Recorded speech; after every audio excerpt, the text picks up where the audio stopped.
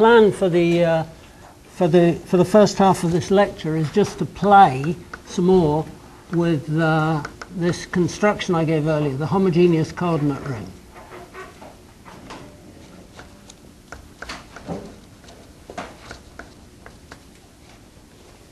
So, uh, uh, and its uh, Hilbert series.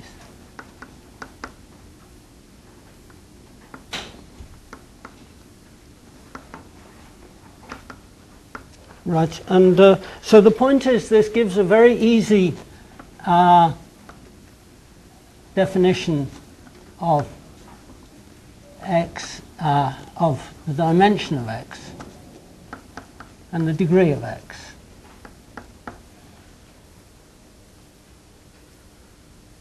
So they're just, uh, you know, how this, how this Hilbert series grows. So these are sort of measures of how big x is, obviously. and then, uh, in particular for a curve, I'm going to finally get to the point where I can say that if uh, x, uh, so uh, x a curve, so curve just means the dimension of x is 1, but I also have irreducible. If x is a curve, uh, then, uh, and fe in Pn, a hypersurface of degree e. So let's have a curve x of degree d. Then when I do x intersect fe, I'm assuming that uh, uh, fe does not contain any components of x. So, so this is a finite set of points, and this is d e points with multiplicity. Right, so there's an easy part of this and the harder part. And then uh, if x is a non-singular curve, then this, um, this says that sum of sum over points p and x of valuation at p of fe is dE. Right. So uh, you know this is this is of course related to Bezout's theorem,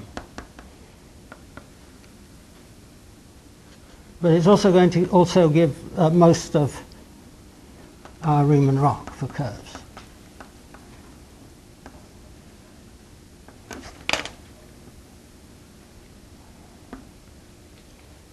Okay, so that's the, that's the plan.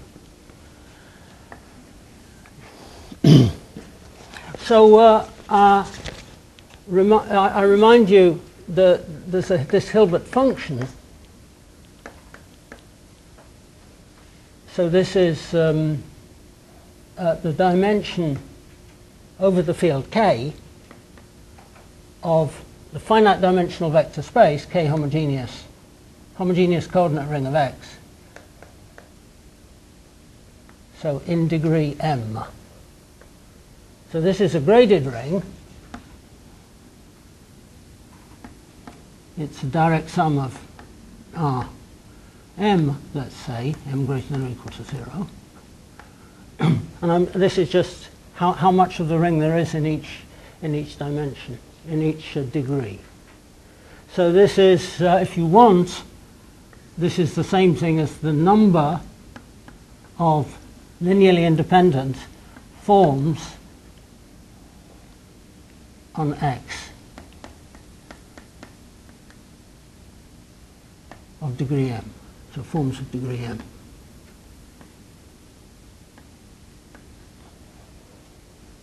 Right, so uh, you know I'm taking x naught up to xn. I'm taking all monomials of degree m, and then I'm modulo ix, modulo the linear, modulo whatever linear combinations that vanish on x, and then I'm counting them. So I'm just counting this number, counting the number of linearly independent forms on x. Right, so we saw this is called, uh, we, we write we write PM of x for this. It, it, of course, it depends on x, and it also depends on the embedding of x into Pn. Uh, and then we define pt, px of t to be the sum of these pm x of t to the m summed over m greater than or equal to 0 to infinity. Right. Now I hope you've I hope you've done the exercises. If you've done the exercises, then you have a good idea for how these uh, for how these things work. So uh, you know this might be, uh, e.g., this might be uh, you know something like one plus 3t over minus t squared plus t to the t cubed over 1 minus t to the fourth or something. And if it's, it's, if it's of this if it's of this shape, then it says something definite about x, about uh, about how many, about which projective space it's embedded in, about how many equations you need to define it, and uh, and actually much more about the homological algebra of, of the embedding. Right. So uh, you know, I gave you quite a number of exercises on the example sheet, and if you've done them, then you'll understand perfectly well what this is about. Okay. so the result was that this, uh, the result was that px of t is of the form a numerator divided by 1 minus t to the power of n plus 1. So I'm writing, uh, I'm writing capital N here, and I'm writing little n here. So uh, I, can, uh, I can choose this so that the numerator is, uh, you know, a naught a naught plus a1 t plus plus a, you know, some k, doesn't really matter, some l t to the l, right? And I can choose it so that this is not divisible, 1 minus t does not divide none. Right? These AIs are in, uh, are, are in Z, and you know they can be positive or negative. Right? I can choose it so that 1 minus t doesn't divide n, because then I just de decrease this. So this is just completely formal properties of modules over polynomial ring. There's absolutely no content to this. I gave the proof about three weeks ago, and it's all very, very easy stuff. Right? And uh, consequent, so the, so we're interested in uh, two numbers here. So this defines two numbers. The dimension of n. The dimension of x is this n, and the degree of x is uh, the sum of the AIs, right? And that's the same thing as this polynomial numerator evaluated at t equals 1 right? So if I put if I put t equals one in here, I'm just taking the sum of these coefficients each with each multiplied by one.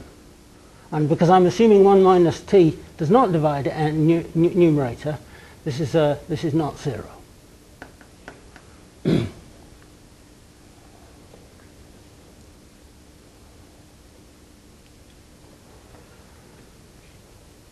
right, and so, uh, and, and then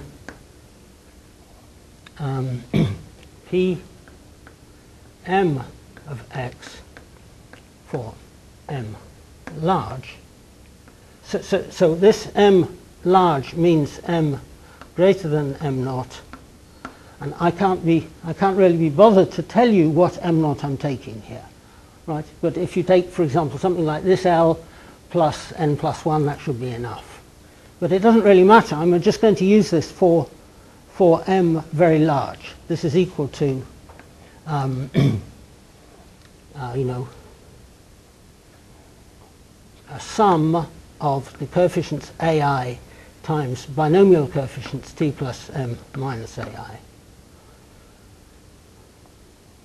Uh, plus n plus n plus 1, n plus 1.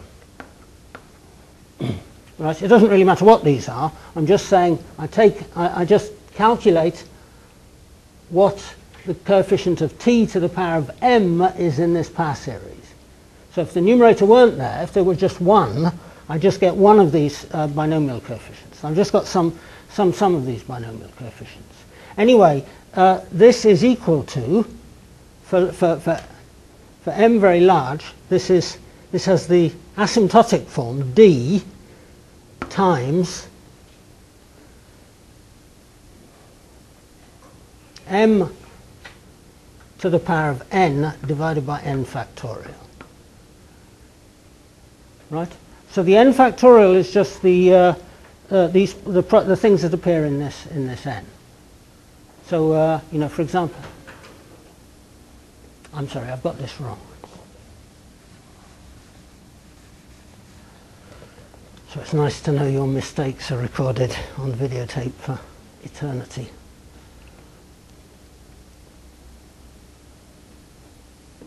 Okay, so uh, so in particular, in particular, this uh, this thing I want here that uh, x is a curve of degree d happens if and only if this P, Pm Pm of x is equal to dm plus constant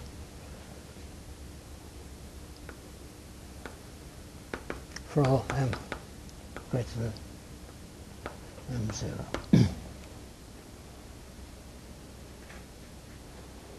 yes, so uh, when when x is a curve, this n is equal to 1, and so this is a, the leading term here is this degree term. But if you think about what's in there, it's actually an equality. It's not, sorry, plus lower order.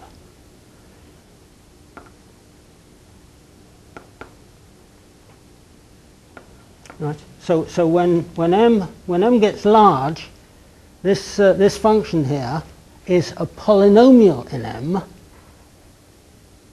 and it's a polynomial where the leading term is this, this number. Right? This is an integer.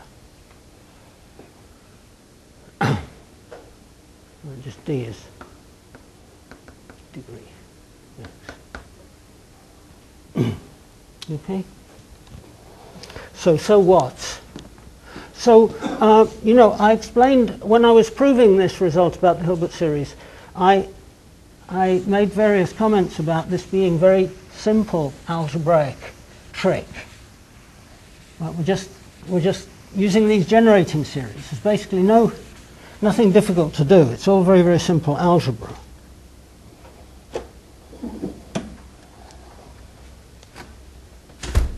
So I want to make some consequences of this, and the first consequence is just very very obvious. So I want to take x in Pn irreducible and I want to take F uh, E, a hypersurface of degree E, uh, not containing not containing X.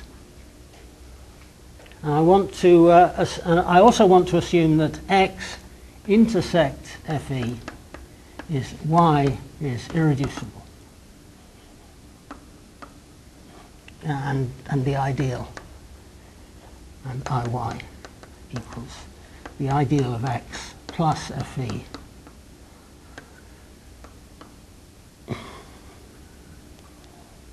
right, is radical.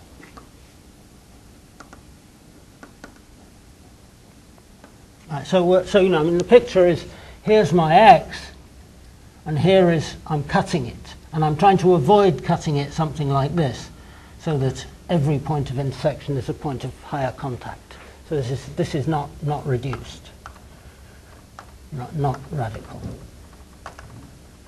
Right, so the good picture, the good picture is here is my x, and here's my f, and I'm cutting it here, y. Right, then, so because I'm saying y irreducible, it can't it can't, this can't be zero dimensional. A zero dimensional set would be some finite set of points. Uh, I want it to be irreducible. Then y is a variety of dimension. Well, x had dimension n, so, so let's say dimension n and degree d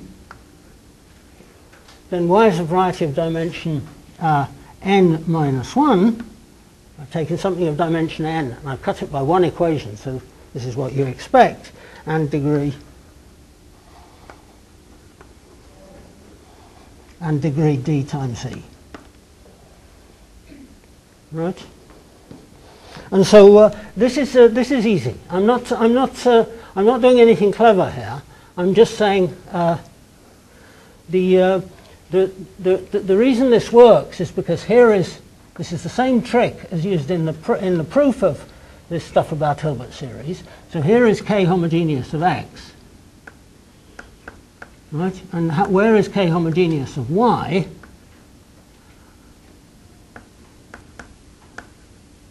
Well, according to this condition here, I'm assuming that the ideal of y is just the ideal of x plus uh, f of e. And this means that if I write fe here, I've got k homogeneous of x here. and the, the ho uh, homogeneous coordinate ring of y is just the quotient by a principal ideal. So if you ask how much of this in degree m here, then i am I'm, I'm taking this from degree m minus e, right? And then when I sum, so how, how should I say this? Uh, if I write p m of x, right? And then I ask how much of it comes from by multiply. Uh, so this is so uh, you know minus p m minus e plus p m is P uh, M of Y. right, and uh, you know, I'm, I'm not supposed to worry about this when M is negative because I'm only thinking of what happens when M, M gets large. Right, so when I sum this over all M, the thing uh, times T to the M, then the thing I get is um, the, the Hilbert series, the Hilbert series of X times 1 minus t to the e. Right, so in degree, in the, the coefficient in degree m here is this thing, and then I have to multiply by the coefficient of t uh, minus t times the coefficient of m minus e. So that's exactly the, like these games you were playing with, uh, if you did the exercises, you played with these Hilbert series. Right, and so I had this numerator. This guy here was numerator of 1 minus t to the n plus 1. And I've come along and I've multiplied this by 1 minus t to the e. Right, and so, and so this is just uh, the same numerator times 1 plus t plus t squared plus t to the e minus 1 divided by 1 minus t now to the power of n. Right, I'm just taking out one of the guys from the bottom and using it to divide into there to get to give this um, thing which is like a cyclotomic polynomial. right, and it's the same numerator. So if you if you now if I set if I set t equals one in this numerator, I'm I'm just setting so numerator so set t equals 1 in numerator to get so the numerator that corresponds to x of 1 times e. Right, and that's the end. That, that, that's all there is to do.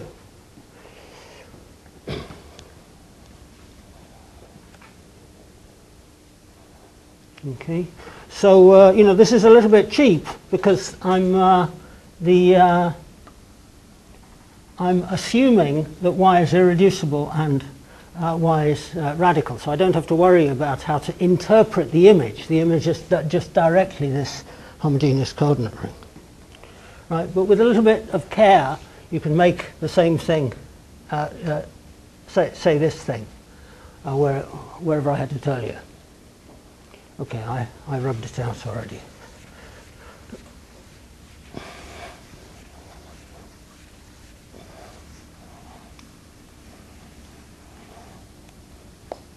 So if x is a curve of degree d,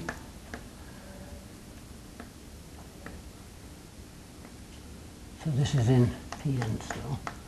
And Fe is a hypersurface.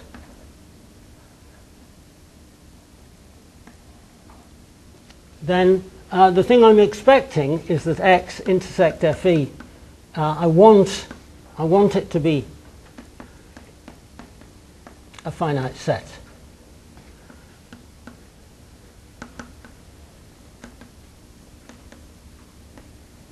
Right, and then I want it to uh, sum of multiplicities equals uh, dE.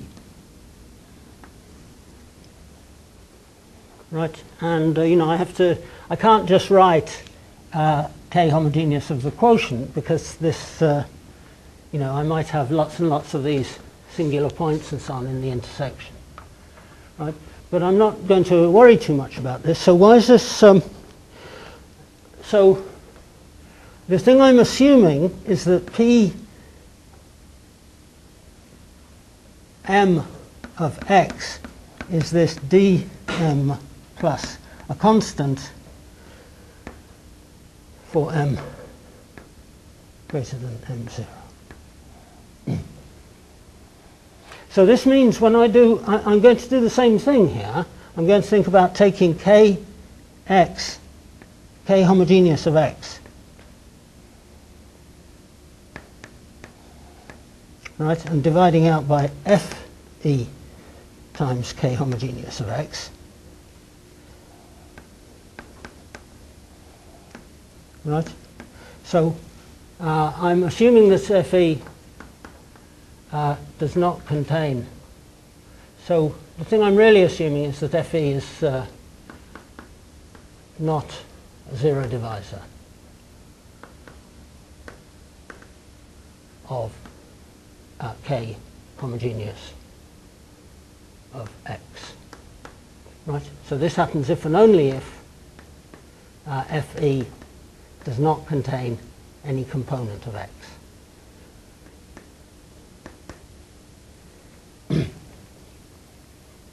right, then uh, what can we say?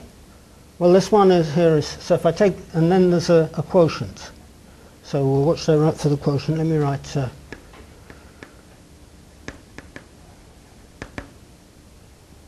Right, so in, uh, in degree m, I have this amount, and in degree uh, m minus e, I have this amount. So here the quotient has dimension is a vector space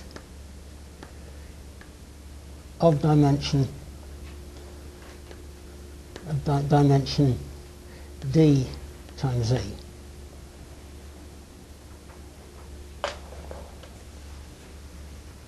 So you know this is this is true for all uh, for all m greater than greater than some m naught. So this is eventually true.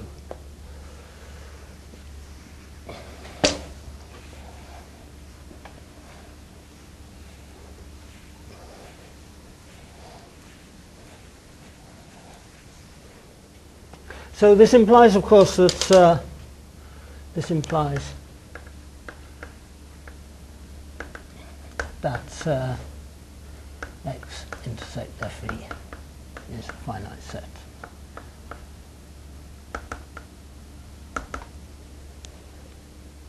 Right, because otherwise this is some algebraic variety and uh, you know it's sort of sitting it's some it's some algebraic variety sitting in space when I re restrict polynomials to it uh, if it's some positive dimensional variety then I certainly get uh, uh and some series that goes to infinity that, that, that gets larger and larger. So, so, so, so, the point is this is bounded.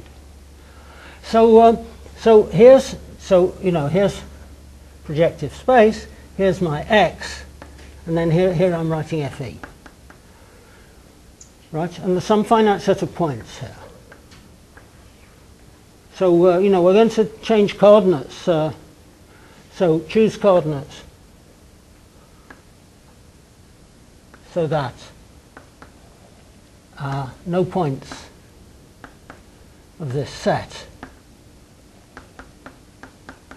are in are in x not equals 0. So I'm, I can choose coordinates here, and I'm, I'm choosing them so that, uh, you know, um, I didn't think about this before I draw the original thing, but here's x naught equals 0. Right, so there's a hyperplane, h, h0 there, and uh, just because, because there are only finitely many points here, I can easily wiggle it so that it doesn't meet any of them.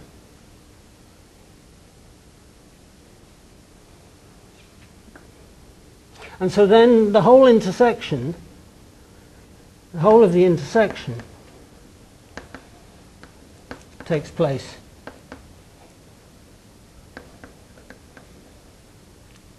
takes place in x naught inside affine.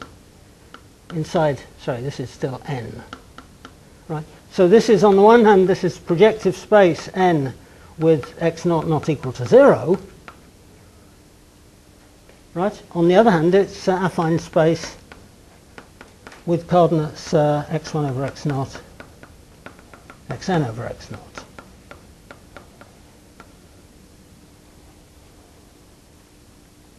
And uh, what is this? Uh, what is this quotient? So uh, I've got uh, I've got the ideal of x, and I've got uh, this hypersurface Fe, and I can take. Um, so I want to take the ideal of x naught. So that's just obtained from Ix. I take all the things in Ix and I just set x naught equals 1. So, so all of this is just uh, set x naught equals 1. Right, so, uh, so I've got this I, Ix naught and I've got Fe of uh, with x naught set equal 1. and, uh, uh, and the point is, so uh, so, so now I have, so if I now do i x naught plus this f, let me write this f naught. right, this is contained in k of x1 up to xn. So I'm, uh, I'm just keeping the same notation for the coordinates with x naught set equal 1. So this is an ideal defining a finite set.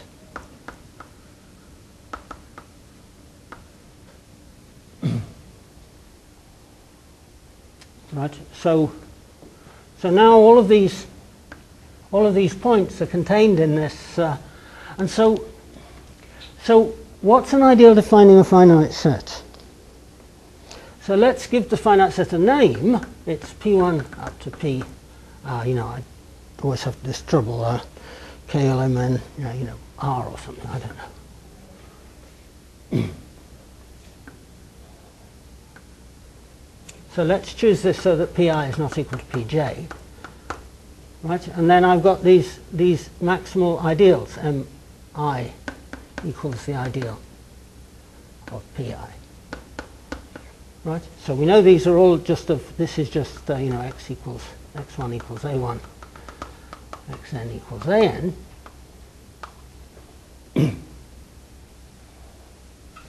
so the, an ideal defining a finite set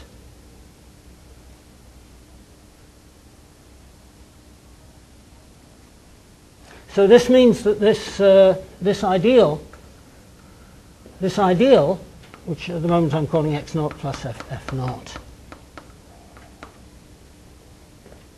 So uh, um, it's contained in the product of mi i equals 1 up to r, right? Because I've, I've decided that, uh, that each of these points pi is contained in uh, the, the variety of this thing. And then by the Nullstellensatz, it, this contains product of mi to some power n. So I can, uh, so, so, sorry, um, uh, Ni. Right, this is by the Nullstellensatz.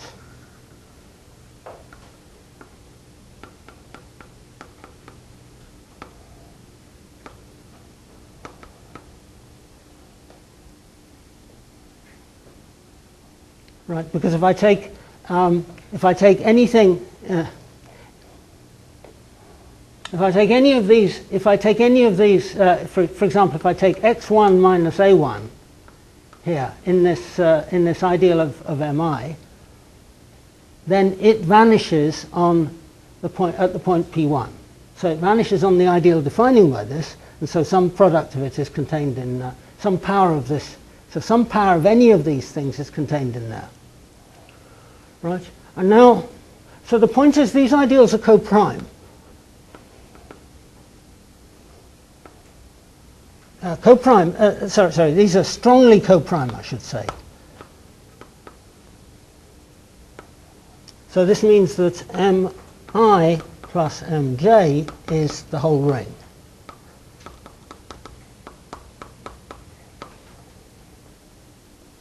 Yeah, if I've got two, if I've got two different points in space, then I can find a function that vanishes on one and doesn't vanish on the other. Right, and so, uh, and then I, if I adjust this, I can find a function that uh, I can find the, um, you know, here, here is here is a, for God's sake. Here's a function that takes a value 0 at this point and 1 at this point. If I take 1 minus that function, then it does 0 at this point and, and, uh, and sorry, 1 at this point and 0 at this point. And so the, uh, the whole ring, the, the, the unit element of the ring is the sum of something there plus something there. Right? And if I, I can take, so if I take, right. So I, am doing a general lemma about uh, ideals, ideals that define a finite set. So an ideal that defines a finite set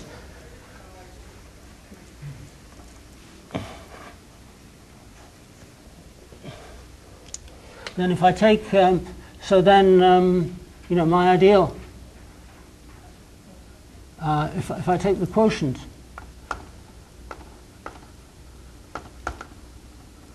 the, if I take the quotient k of x1 up to xn now divided by this, this ideal, ix naught plus f naught.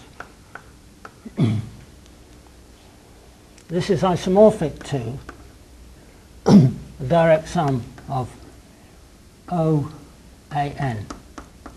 So, so, so, so, so, let me, I can write, I can write it more clearly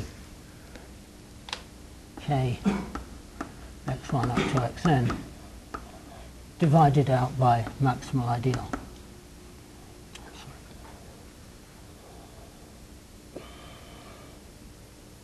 Okay, this is contained in.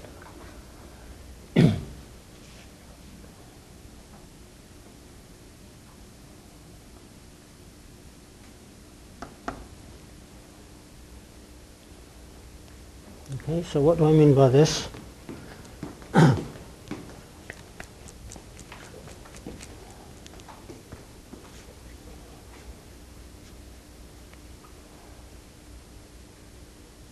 So, you know, I finally get round to giving this a proper name. So I've got J. He's contain, he's con he contains he contains this product of mi to the ni, and these guys are coprime. So, uh, you know, I had, if I have M1 plus M2 is the whole ring, then also M1 to the N plus M2 to the N is the whole ring. Right, because I just take, uh, you know, for example, F plus G equals 1 with F in M1 and G in M2, then also F, F plus G raised to some power 2n is also, is also equal to 1. Right? And this is a sum of terms in m1 to the n and uh, m2 and g to the n. In fact, I Okay, so um, so anyway, there's little little tricks like this. If I take the quotient by this ring, so I could take the quotient separately by each of these rings, and I get something slightly bigger.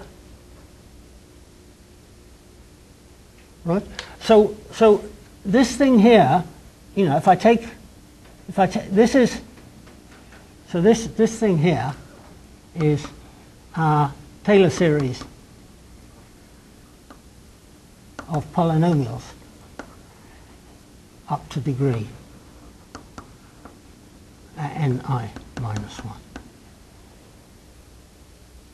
Right? And so th this is the same thing as O of affine space, the lo local ring now, not the, not the whole polynomial ring, the local ring uh, at aff affine, affine space at the point pi divided by the maximum ideal, now, now the maximum ideal in the local ring. Right, so uh, I'm saying things, well, they're sort of clear to me anyway. I don't know, uh, I, don't, I don't think there's anything very difficult going on here. Right, so the, dim the, the dimension of this as a vector space over the field is just the number of monomials in the in, uh, number of possible monomials in the Taylor series. So it's just, again, some binomial coefficient. Okay, so what do I want to make of this? so I want to identify, I want, now I want to identify this thing here, this quotient, with uh, uh, a ring which is contained in here.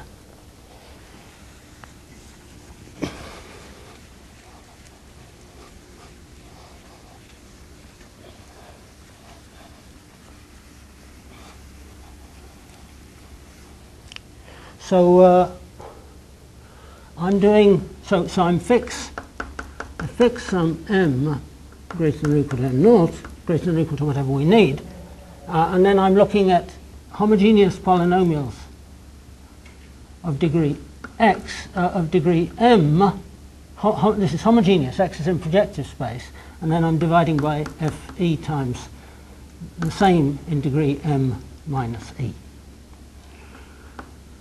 Right, and now I'm going to this quotient.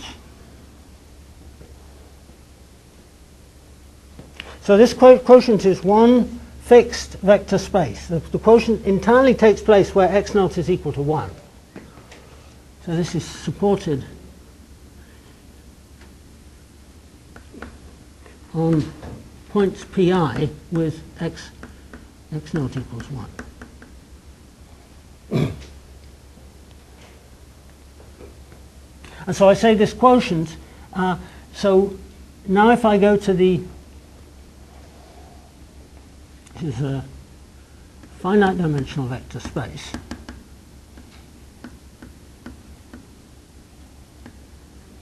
of dimension dE, and it's also, uh, I, I say that this is equal to direct sum of O affine space divided out by this um, i x naught plus f naught.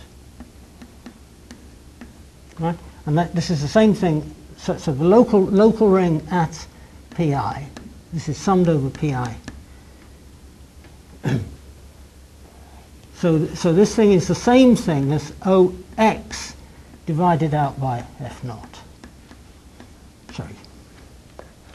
So I could write this more clearly. This is the same thing as Ox at pi divided by f naught. Uh, equals.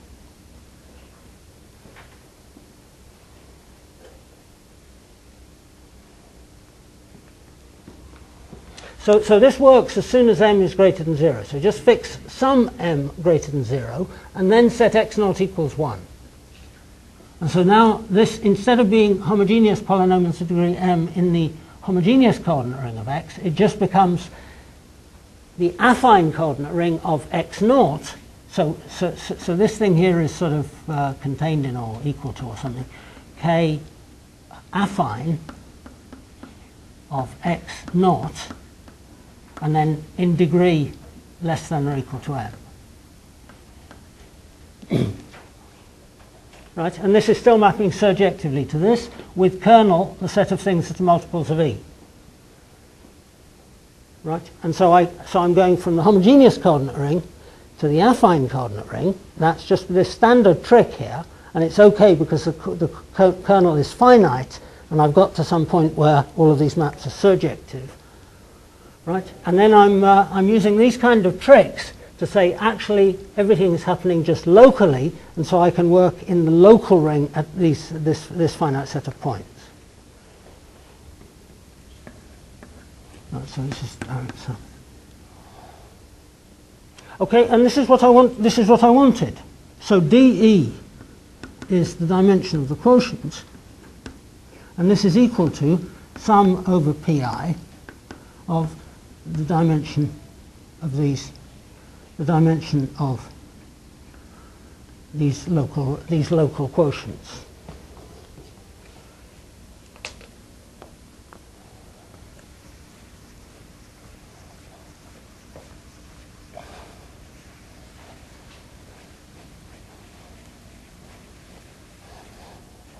So if we define, so, so the only thing, so if we define, if we define multiplicity of intersection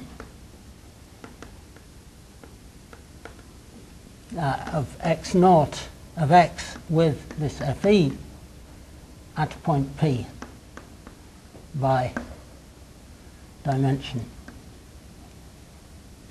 uh, dimension over the field K of local ring OXP divided by FE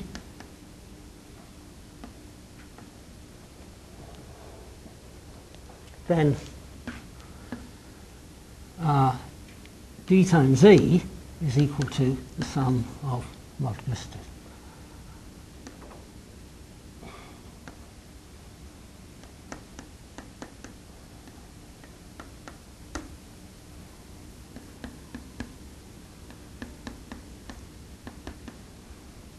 Okay.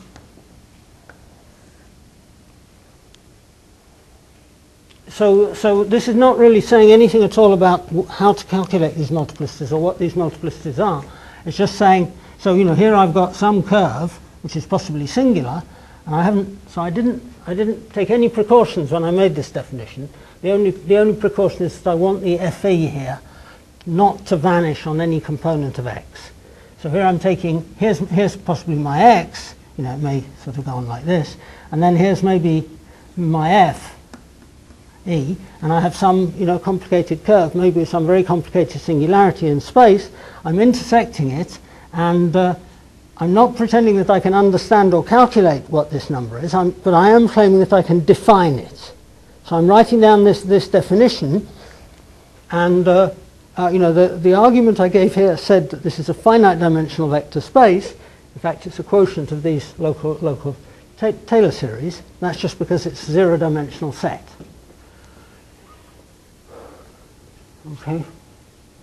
So that's the, uh, so now I want to, now I want, now assume, now assume x is a non-singular curve.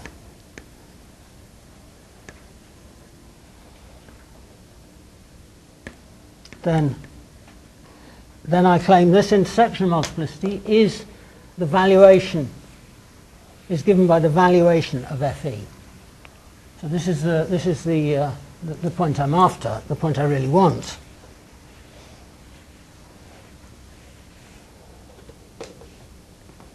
So then for all p in x, OX at p is a discrete valuation ring.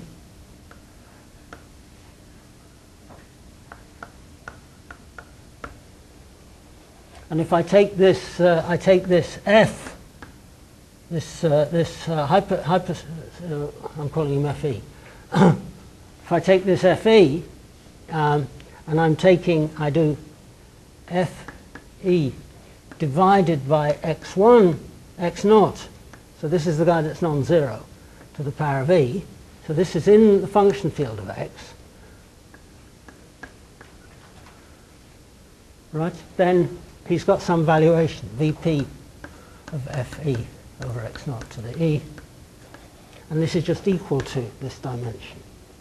This is equal to the dimension of OXP divided by uh, FE.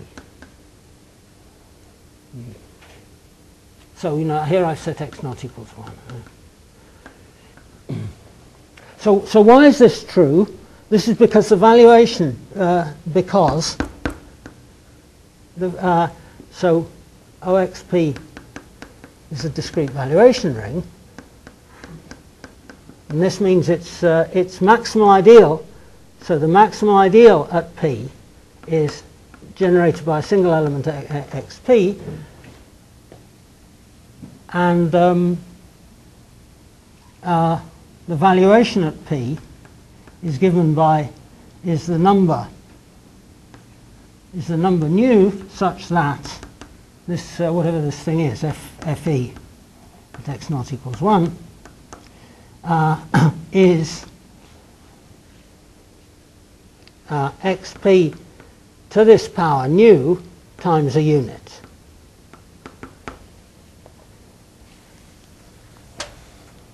Right, and so, uh, and so, uh, what do I want to say? Uh, here's OXP, here is uh, the maximal ideal, which is uh, also the principal ideal xp, and then here's the maximal ideal squared, which is uh, xp squared, and so on. so if I take OXP and then I divide it out by this thing here, I'm working at the local ring at the point P, I don't care what happens in section other points, then it's the same divided by this Fe at P is the same thing as OXP divided out by this XP to the power of the valuation.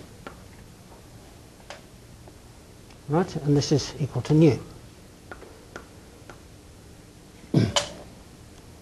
right, so the, uh, the, the, the quotient OXP by MP is just the, the residue field, that's one dimension of the field over K. The quotient by MP squared is two, two dimensional.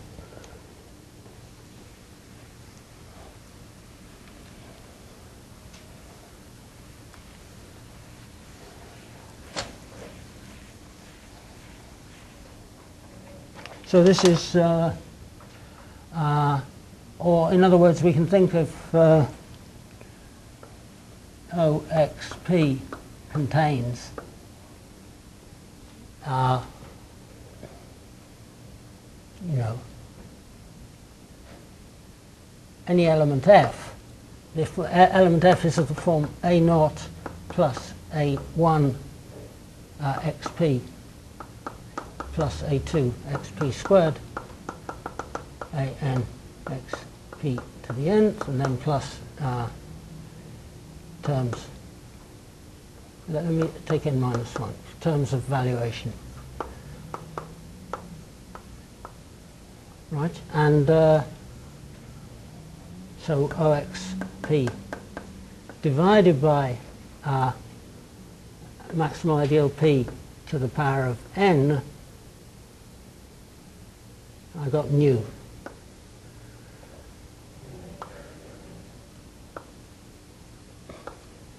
Uh, is uh, the set of possible A naught, A1, A nu minus 1. Right. So it's a vector space. Uh, that, that's not really true. Uh, I'm sorry, I'm sorry, it's not true. It's determined by, uh, as a vector space, is uh, a vector space based by uh, 1, 1 xp, xp squared, to nu minus 1.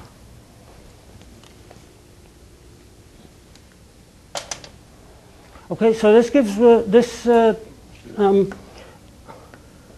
you know, I, I sort of made, I did some slightly messy things here, but uh, you know, I mean, this it's not especially difficult to tidy this up.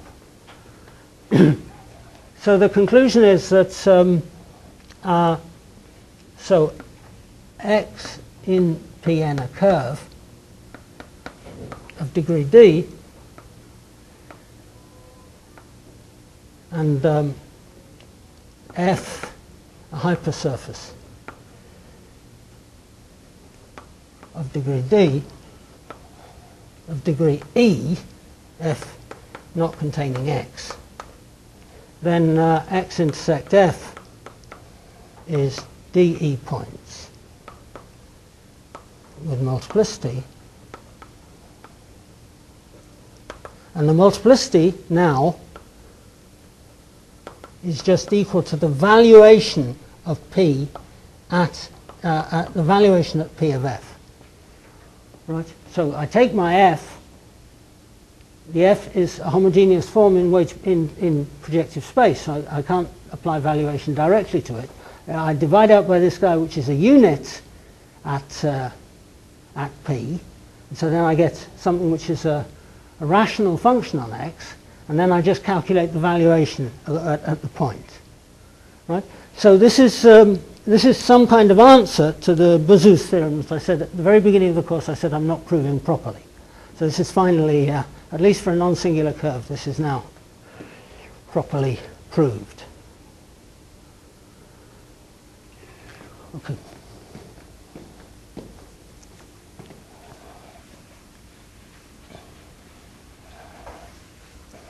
The non-singular projective curve So then uh, if f is in Kc, then I take the divisor of f. So I discussed this several times and I'll discuss it several times more. Uh, this is the, the zeros of f with multiplicity minus the poles of f. And then I take the degree of this, this is just the sum, the sum of those numbers, then this is zero. Right, so this is sum of P and C of the valuation at P of F times P and then so this is zeros of F minus poles of F and the degree is zero. Why? Because K of C is the function field. And this is um, uh, obtained from homogeneous coordinate ring, K homogeneous of C, by doing by doing uh, F of some degree E divided by G of some degree E, where F and E, F, E, G, E, homogeneous of the same degree.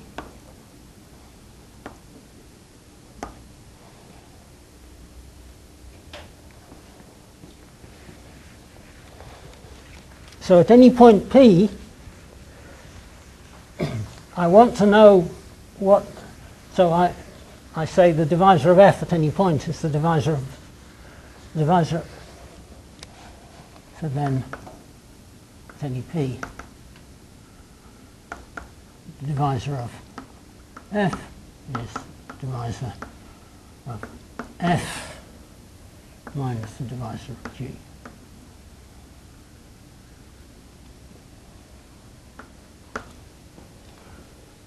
Right. So this means uh, locally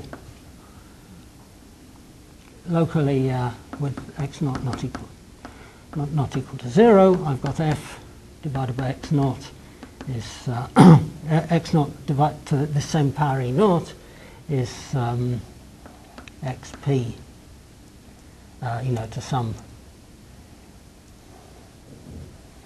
multiplicity uh, valuation of p of f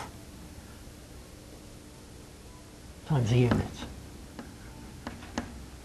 and so, so sim similarly for G and then uh, F is F over G and this is XP to the power of valuation at P of F minus the valuation at P of G.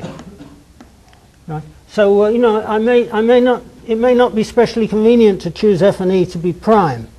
So it might happen that F and E have both have uh, zeros at XP but uh, nevertheless, this uh, calculus works. This um, this algebra here works. The, these are, we're working inside a function field. All the guys are non-zero divisors, so we're inside this field, and then um, the multiplicity of This is just the, the rules for a valuation ring are giving us this for free. Right? And so uh, divisor of f is divisor of f minus divisor of g. And the degree of this is dE minus dE, that's 0.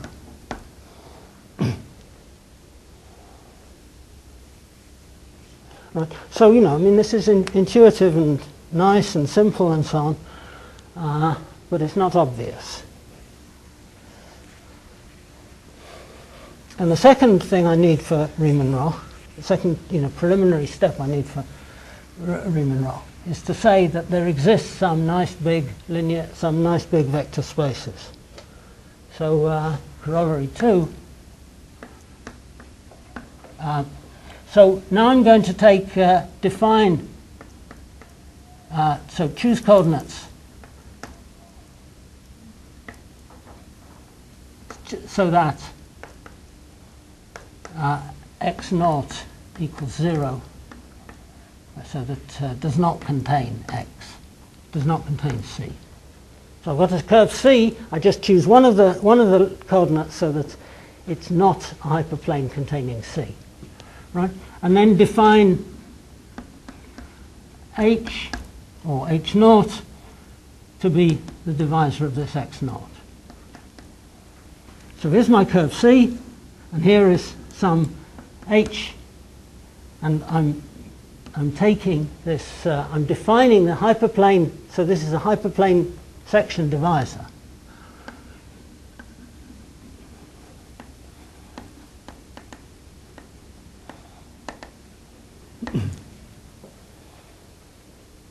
right, then uh, if I do, um, I do Riemann-Roch space, I do the Riemann-Roch space L of m times h.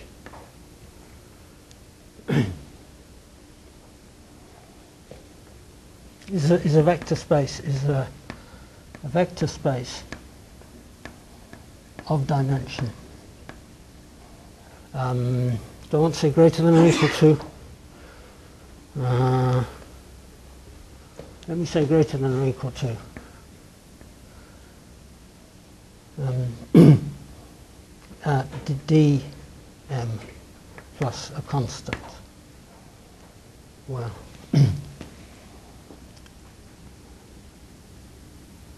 for all m greater than some m naught. so where this, uh, where d is the degree.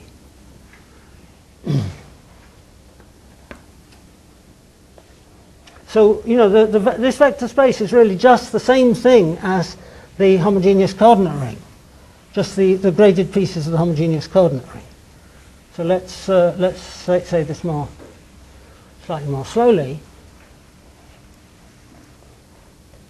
I've got C in Pn, and I've got its uh, homogeneous coordinate ring. And we know that uh, in degree m, this has dimension, this has dimension uh, whatever it is, um, uh, pm.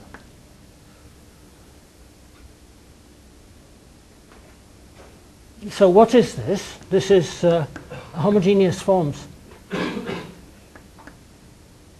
on Pn of degree m modulo those in Ix, those vanishing on x.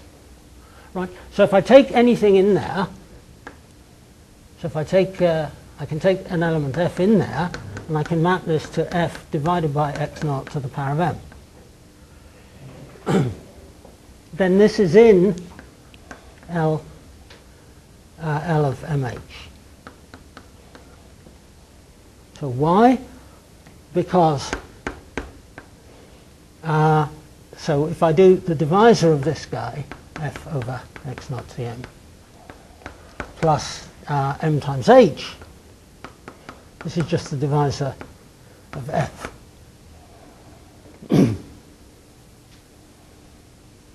right, and this is certainly an effective divisor. So, so, so when I write this LMH, I say, right, your, your, this, is, this is supposed to be contained in K of C, so it's rational functions on C, and I say you guys are allowed to have poles of order m times whatever pole x naught has. So if I multiply now by x naught to the power of m, then I kill the pole. This is the only thing I'm saying here. So if I take these guys times x naught to the m, then I'm killing the pole. and this is now regular.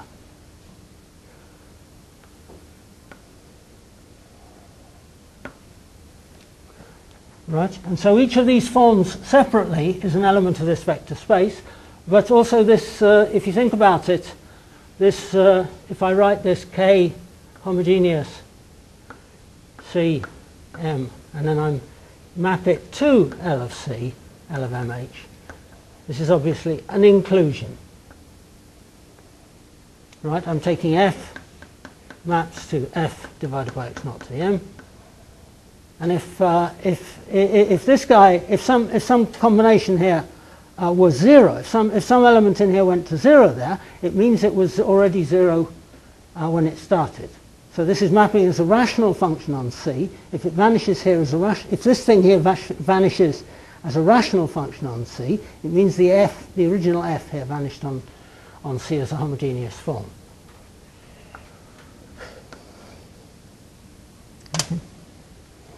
So uh, this, this idea of having hyperplane section divisors is, uh, takes place throughout algebraic geometry. But most of algebraic geometry, as I said at the very beginning, takes place in projective space. And the thing that, the thing that makes a projective variety different from an abstract variety or an abstract complex manifold is that it has these hyperplane sections. So uh, if X is a variety, uh, hyperplane section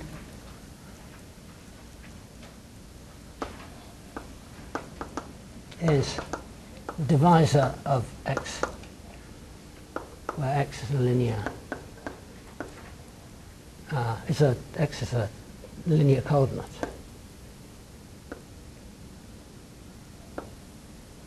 Right. So uh, this is a good time to, to remind you that uh, um, when I, when I, if I take f in k of x and I write the divisor of f, right, this is called a principal divisor.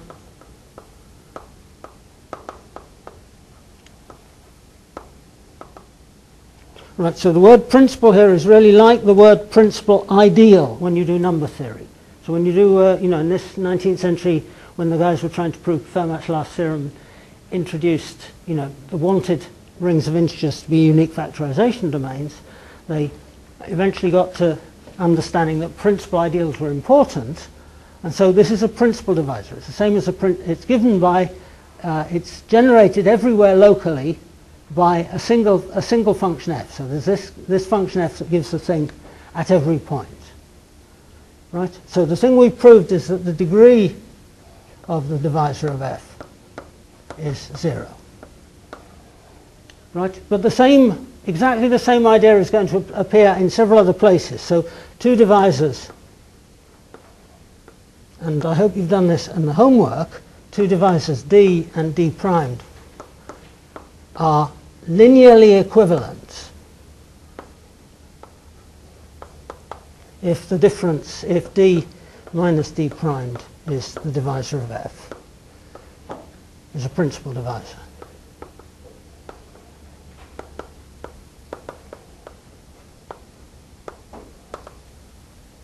Right.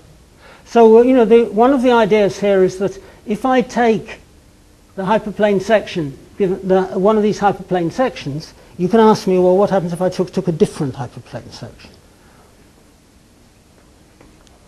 So, uh, e.g., if, uh, uh so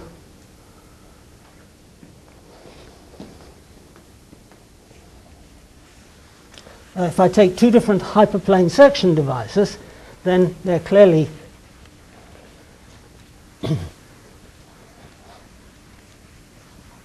linearly equivalent. So if x, x prime, two different linear forms on Pn containing Pn containing my x, then if I write down, uh, uh, I can write down the divisor of x and the divisor of x prime and the difference between them is the divisor of x over x prime. and this is principal.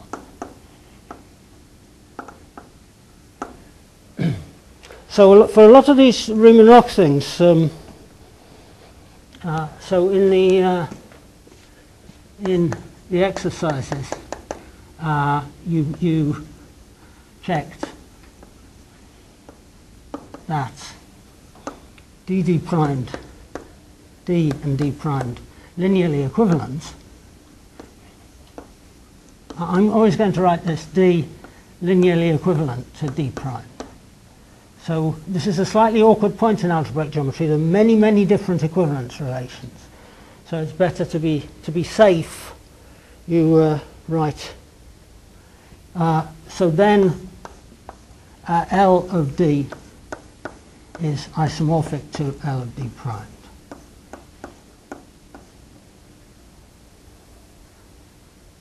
Right? Because this is the set of, so, so so let me, let me assume here that if I, if I write d minus d primed is the divisor of g, with g in some non-zero, some rational function in, x, then uh, I can do multiplication by g takes L of d to L of d primed. So I set this on the last example sheet, on the last exercise sheet, and I hope you've thought about it right? And so this means for most purposes, you know, in this, in this case, I was taking a hyperplane section. And of course, I don't care which hyperplane section, as long as it misses some finite set of points or whatever it, whatever it is.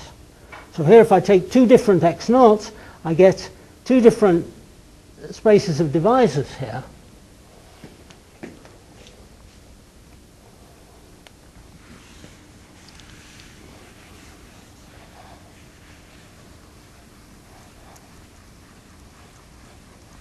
So if uh, Fm, if Fm uh, hypersurface degree m, then uh, Fm over x naught is uh, to the power of m is a rational function.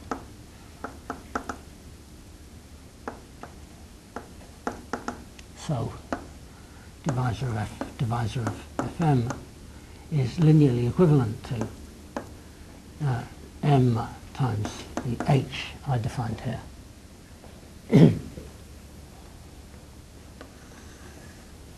okay, so uh, let me uh, perhaps leave it here.